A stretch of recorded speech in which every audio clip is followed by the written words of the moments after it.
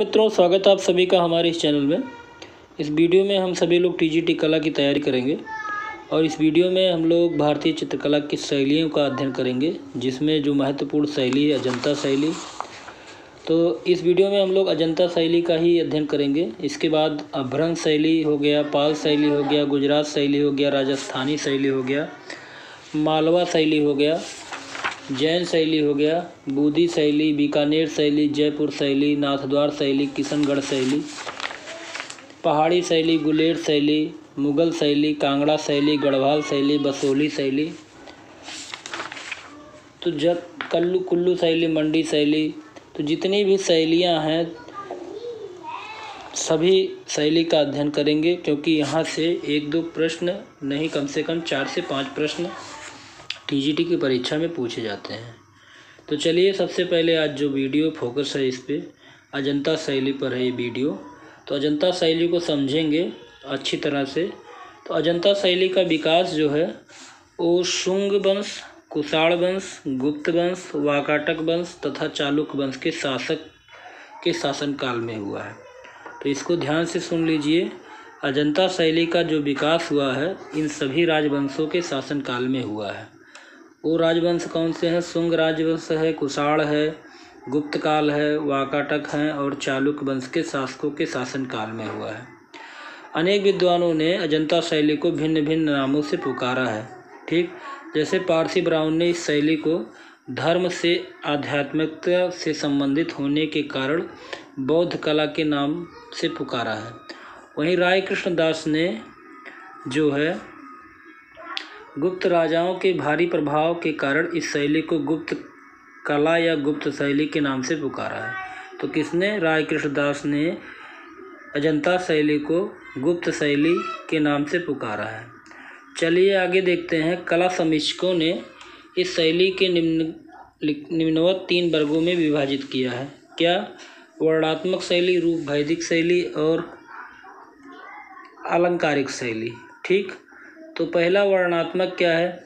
तो वर्णात्मक में जातक कथाओं का वर्णन किया गया है। जैसे उदाहरण के लिए, सीवी जातक का चित्र आपको यहाँ देखने को मिलेगा। छंदक छदंत छदंत जातक चित्र मिलेगा। ठीक? तो जातक कथाओं से संबंधित जो चित्र मिलते हैं, उनको वर्णात्मक शैली की श्रेणी में रखा जाएगा। दूसरा जो है, रूप वैदिक वर्ग के अंतर्गत क्या रखा जाएगा?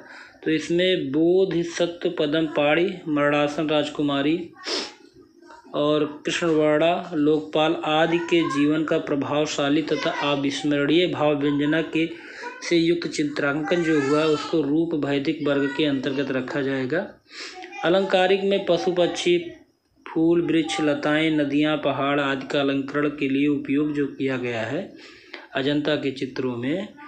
ठीक उसको अलंकारिक शैली के अंतर्गत रखा जाएगा। तो अजंता में जो है, वो तीन वर्ग में, अजंता के चित्रों को, कला समीक्षकों ने तीन वर्गों में विभाजित किया है, वर्णात्मक शैली, रूप वैदिक वर्ग और अलंकारिक वर्ग में। आगे देखते हैं। आगे है तो सबसे पहले जो है, काल्पनिक परिपेक्ष में तो यहाँ पर काल्पनिक परिपेक्ष जो है, वो क्या है? उसका मतलब ये है कि अजंता शैली की जो विशेषताएँ हैं उस विशेषताओं को यहाँ पर हम देखेंगे कि अजंता शैली में कौन कौन सी विशेषताएँ थीं। तो पहली विशेषता है काल्पनिक परिपेक्ष। अजंता का जो परिपेक्ष विशेष प्रकार का है, अनेक स्थानों पर विभिन्न समयों के दृश्यों को एक ही चित्र में अंकित कर दिया गया है, फिर भी संपूर्ण चित्र एक सूत्र में विद्यमान रहता है। ऐसा होने पर भी दर्शकों को कोई अस्वाभा अस्वाभाविकता अथवा कठिनाई का सामना नहीं करना पड़ता है। दर्शक स्वतः उसी दृष्टि के बिंदु मुख्य बिंदु पर पहुँच जाता है, जहाँ से चित्रकार ने चित्र की रचना की है। तो अजंता ने बहुउद्देशीय परिप्रेक्ष्य का पालन किया है। तो ध्यान से देखिएगा, अजंता में बहुउद्देशीय परिप्रेक्ष्य का पालन हुआ है। ठीक तो जो काल्पनिक परिप्रेक्ष्य के अंतर्गत है, अजंता में बहुउद्देश्य परिप्रेक्ष्य का पालन हुआ है। इसके बाद हम देखते हैं रेखा क्या है। तो अजंता में जो रेखा या रेखाएँ बड़ी कुशलता के साथ उसका अंकन किया गया है। ये रेखाएँ सजीव होकर गतिमान हैं और आकृति के अनुरूप यथास्थान, गोलाई, उभार, घनत्व, छाया प्रकाश तथा यहाँ तक कि सूक्ष्म से सूक्ष्म भाव भी सफलता से व्यक्त करने में सक्षम है। ठीक, और कोमलता के साथ साथ रेखाएँ, रेखाओं में अटूट प्रवाह भी है। अगली विशेषता क्या है अजंता की? तो रंग की देखते हैं तो अजंता में जो रंग का विधान विधान सादा है और हरे रंग की छटा निराली है, ठीक? तो हरे रंग का जो प्रयोग किया गया है, उसकी छटा निराली है, रंग चमकीले हैं। कुछ आकृतियों में गुलाबी तथा भूरे रंग को भरा गया है और सिंदूरी रंग का भी प्रयोग किया गया है, ठीक?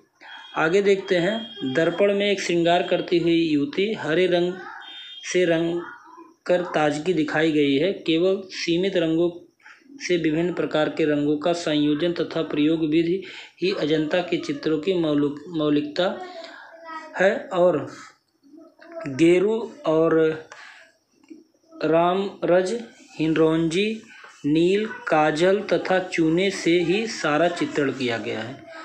देख, ध्यान देने वाली बात है, गेरू, रामरज हिंडौंजी नील, काजल और चूने से सारा चित्रण किया गया है किसके अंतर्गत? किसके किसके चित्रों को? अजंता के चित्रों को। ठीक? तो चलिए, चमक दमक अभी भी इनकी बनी है, चित्रकार प्रशंसा के पात्र हैं, अभी भी उनकी चमक नहीं गई है। आगे देखते हैं, नारी चित्रण में क्या है अजंता? में तो अजंता शैली की जो विशेषताएँ हैं, उसमें नारी चित्रण भी देखने को मिला है। तो अजंता के कलाकारों ने नारी के विभिन्न रूपों का सुंदर ढंग से चित्रण किया है, जिसमें आप महामाया देवी का चित्र प्रसिद्ध है और राहुल समर्पण चित्र में बुद्ध की पत्नी यशोधरा अपने इकलौते पुत्र तथागत के चरणों में समर्पित करती हुई दिखाई देती है। तो स्त्री, सहचरी, माता, प्रेमिका और प्रेसी के साथ साथ नर्तकी, सेविका और रूपों में व्यक्त किया है। तो जहाँ तक नारी के सौंदर्य नारी को सौंदर्य का प्रतीक माना जाता है, परंतु अजंता के चित्रों में नारी को कला की अधिष्ठात्री देवी के रूप में माना है, ठीक? भौतिक या शारीरिक आकर्षण का केंद्र न होकर आध्यात्मिकता, वात्सल, करुणा, प्रेरणा एवं शक्ति का परिचायक है। अधिकतर नारी अर्धनग्न रूप में चित्रित हैं, परंतु उन कला के उपासकों ने उस रूप में भी शालीनता का जो दर्शन कराया है, वह विश्व में अद्वितीय है। अगला क्या है? केंद्रीय संयोजन।